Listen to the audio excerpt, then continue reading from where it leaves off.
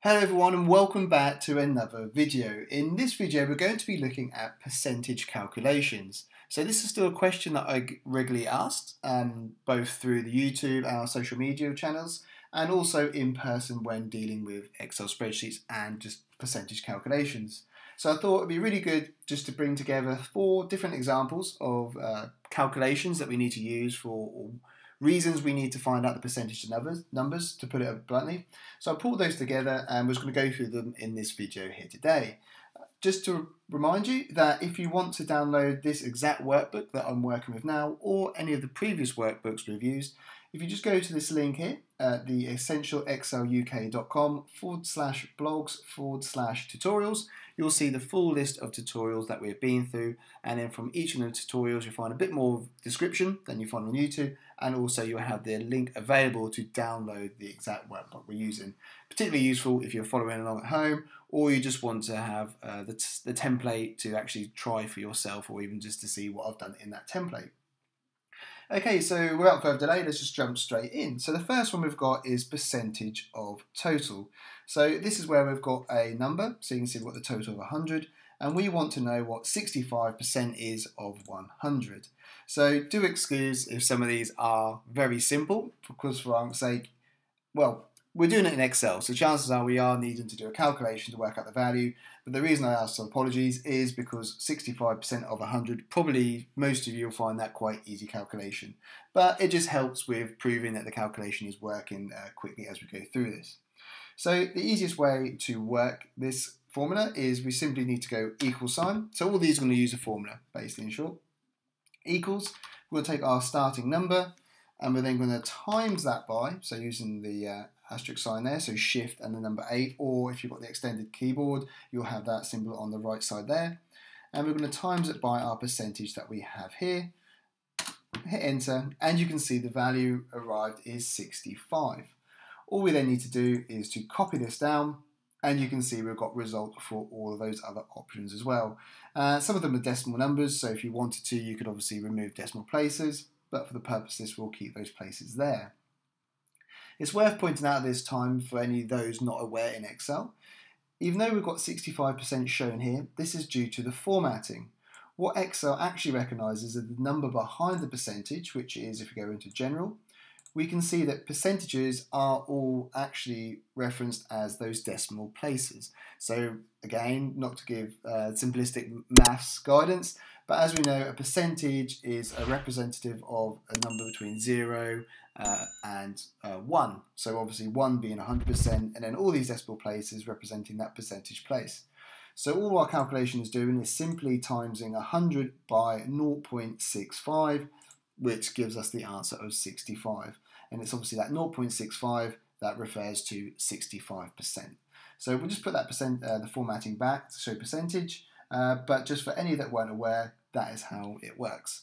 And alternatively, if you found yourself in this position where you've got these decimal places and you wanted to convert them to show as a percentage, all you need to do is highlight this, do the reverse of what we've just done. You can either push the percentage button here, or from your drop down here, you can find percentage, and there you go.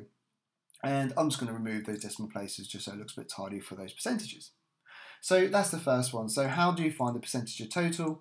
All we need to do is we take the total number and we times it by the percentage amount. And that will give us obviously the, the number uh, value of that percentage. So next one, so uh, we've got increase by percentage. Well, actually that shouldn't be increase, that should say increase. So apologies for that. So how can we increase our before number by this percent? So this is where our calculation now gets a bit more, um, not technical, but we're getting a bit more detail to our calculation. So the first thing we need to do is obviously take our starting number.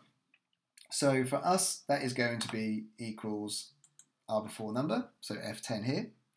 And then what we're going to do is we're now going to be using the plus symbol. And actually, before we jump into this, let's just quickly look at this from a basic standpoint. And we'll just convert these percentages back to our number values, which can be general there.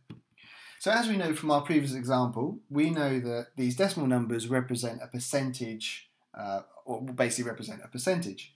So in order for us to increase by this percentage, what we need to do is we need to initially turn these into, for, for this first one, we don't want this just to be 5%, we want it to be 1.05%.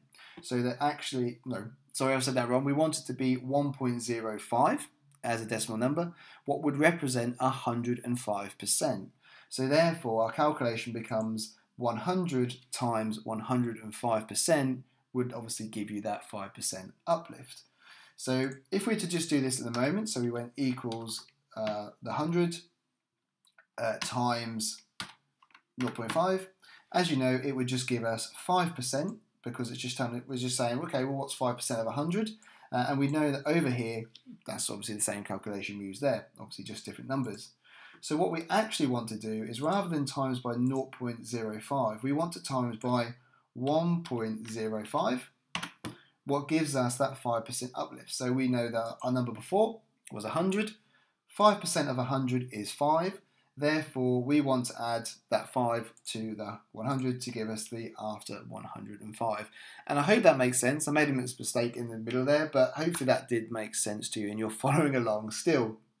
So how do we turn this uh, 5% into uh, 105% without messing with the numbers we've got there? Well, simply all we need to do is just make a little addition to the end of this formula. So we're going to simply do times by open brackets, and we're going to do the number 1, what signifies 100%, plus the percentage that we have here in column G, what obviously is our 0.5, and then we're going to close our brackets and hit enter. And you can see that that now has done the same result as what we did manually. And if I was just to put in this column to the side here, that second part of the formula, all we're doing is equal 1 plus 0.05. So you can see that this is the number we're actually timesing our before number by. So we're now going to go 100 times by 1.05 gives us 105, what reflects an increase of 5%. And now all we need to do is copy that formula down. We can change our percentage here back to our percentage formatting, so it's nice and tidy. And there we go. We can now see that uh, 100 increased by 5% is 105, and so on and so forth. So 50 increased by 25% would give us 62.5%. So it all comes together uh, just as desired. So next, the inverse of that is to look at how can we decrease a number by a given percent. So it works very much in the same as this first example here in, by increase, but rather than 100 plus that number, we're going to be doing uh, 1 minus that number that we want to require. So for us, what was going to be here, so we can just put this in manually now.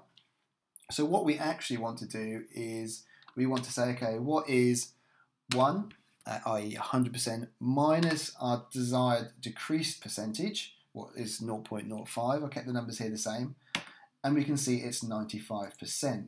So what we actually want to do, what we're now going to be doing is, having done this calculation, is we're going to be timesing our starting number by, our, by 95% to work out what that decreased value is. And again, hopefully you're still following along and that does make sense. So what I'll just do is put that calculation aside here so we're going to be doing equals 1 minus the percentage we want to decrease by. So we can see it's 95%, but we'll just put that to a number. And let's pull that down. And let's put them to the left there. So we can see that these are actually the percentages that we want to be timesing our starting number by. So 50 reduced by 25% is the same as 50 times 70 or 75% of 50 uh, 200 decreased by 50% is obviously the same as 200 times by 0.5, i.e. 50%. So I hope that makes sense. So all we need to now do is just add this to our calculation. So it's going to be equals our before number times by, open brackets, 1 minus our desired percentage reduction, close brackets, hit enter, and you can see it's got a percentage in there at the moment, but we'll just format that back to uh, general. And we can see that 100 reduced by 5% or 100 minus 5% equals 95. And then what we can simply do is just drag that all the way down and you can see all those uh, results based on the different percentages we want to reduce by. So that is how we then do uh, clear contents. So that's now how we've covered how we do percentage of total. So how do you find what number or what is 65% of 100? We've looked at how to increase a number by a percentage. So 100 um, add 5% is 105. And we've looked at decreasing percentage. So 100 uh, reduced by 5% gives us 95. So the last one we're going to be looking at is calculating percentage change. So it's kind of looking at this first one, or these first, well, we're looking at many of them to be honest, but it's kind of pulling it all together. So for this one, we want to say we've got a before number of 100, we've got an after number of 110. So what is the percentage change that's happened to go from 100 to 110? So for this, we're going to now do another little calculation, and it's in two parts. So again, what we'll do on the side here is we'll do the first part so that we can see what that looks like. And actually, well, actually, we'll do it in the change column. So what we're going to first be doing is simply equals our result, so our latest number or our after number, the number that's happened after the change, minus the before number. And we know that that's going to be 10. So we can copy that. Actually, what I'm doing, I'm going to change my mind once again. So let's just put it over to the side here. And all will hopefully make sense in a second. So all this calculation is doing is taking our after number and minusing off the before number so we can see what the number difference is. So once we've done that, we can copy that down. And we can see that we've got some additions and some reductions. So we can see we've got um, plus 10, plus 10, plus 5. We've had a reduction of 100, a reduction of 25, an addition of 20, and a reduction of 5. So these are all the numbers that have changed, what have happened to our starting number. The next thing we need to do is, well, the last thing we need to do is now say, okay, we know what has changed by, so what is this number as a percentage of our before number? So kind of going back to this first example we had here. So what we need to do is, oh, and I'm so sorry, but I've just now realised a mistake I made here. This is not, shouldn't be percentage change. This should be a number. So hopefully that's not now confused people throughout this whole video. So this is obviously just a number and this is a percentage. I originally was going to do this in a different order, uh, but yeah, so you can see, ignore whatever that header was, it should be number. Um, so we got, so sorry, going back to our percentage change at the end here, we know what the number has changed by. So all we now need to do is understand what this is a percentage of our before number. So we can go equals our amount changed divided by our 100 gives us a percentage. And Let's copy that down, change it to percent, and we can now see that our what our percentage change is. So our 100 starting number changed to 110 is a is a percentage increase of 10%. And just skimming down, and we can see that our before number of 200 reduced to 100 is a reduction of 50%. So it's pretty much there. All we now need to do is combine these two pieces of information together. So the first thing we want to do is rather than reference our Q10 here, so our number we've generated, we're going to just remove that and replace it with the calculation within brackets. So we're going to do open brackets, after number minus before number, close brackets. So this is calculated for us, this number 10, and then it's going to divide it by our before number, and you can see what the same result of 10% there. Let's copy that down clear contents of that final column because we don't need it. And there you go. We can now see the final result there for us. So I hope that's been nice and clear for you in understanding how to do these various uh, percentage calculations. As I mentioned at the start of the video, you've got the link here, and you'll also find that same link below the video in the video description.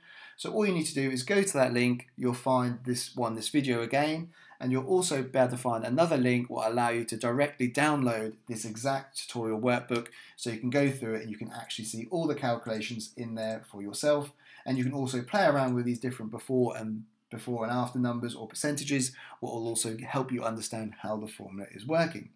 If this is your first time watching uh, one of our videos or stumbling across the channel, please do hit that subscribe button and also hit that bell notification as well so you're notified of all of our future videos. Uh, we're very close on getting to 4,000 subscribers so again if you're a regular viewer please do hit that subscribe button as it would be greatly appreciated to help us get to that uh, or past that 4,000 number. Uh, if you did enjoy the video, please do give it a like. Uh, it's not only greatly appreciated by myself as it shows me the videos and the content you'd like to see more of, it also does help that all important YouTube algorithm to help more people find this video. So thank you very much for watching and I'll see you in the next video. Before you go, don't forget to check out the other videos on our channel. You'll see everything from other functions and formulas through to tips and tricks. We've also created some playlists so you can see these categorized together. So make sure you check those out uh, and get all those useful information. And obviously, as always, don't forget to subscribe and hit that bell notification button.